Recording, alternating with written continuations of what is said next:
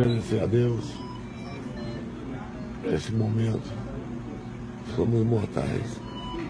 Agradecer também médicos, enfermeiros, que me viram desde o começo.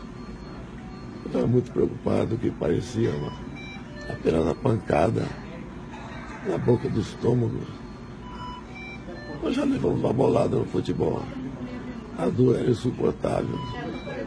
E parecia que tinha algo mais grave acontecendo. Essa equipe maravilhosa, abençoada por Deus, detectou e evitou que o mal acontecesse. Então, em nome deles, meu muito obrigado aos médicos enfermeiros de todo o Brasil por ter colocado as pessoas certas nesse dia, a véspera do nosso 7 de setembro. Infelizmente, não vou poder comparecer amanhã na Presidente Vargas, no desfile de 7 de setembro. Nós estamos com o coração e mente, sempre tendo um Brasil acima de tudo e um Deus acima de tudo. Particular agora, Mário. Você é um outro irmão que mede agora, que eu adotei. Todos nós temos uma missão aqui na Terra. E essa missão será cumprida por mim, por você, Mário, ou por outra pessoa, até o momento. Deus quis assim. E vamos levá-la.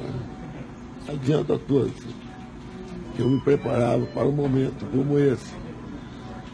Porque você corre riscos. Mas de vez em quando a gente duvida, né? Sabe, o ser humano é tão mal assim. Nunca fiz mal a ninguém. E o que acontece na minha vida, desde quando eu nasci, numa chuva de pedra, aos 15 anos no Vale do Ribeiro. E o chegar de pessoas maravilhosas como vocês estão nos assistindo, e nesse momento meus filhos também, a questão da família.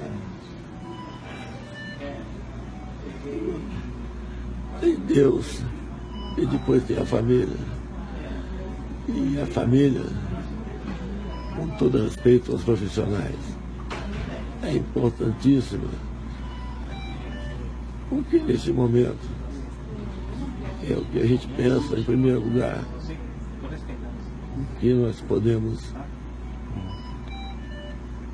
juntos né, é, fazer e se garantir no momento. Eu agradeço meus filhos, estão aqui, minha esposa está chegando. Pedi para vir meu filho também, o, o Renan. A minha filha lá não veio porque tem sete anos, muito jovem. O Servão está aqui. Obrigado, Brasil, estamos juntos. Muito obrigado, um abraço a todos.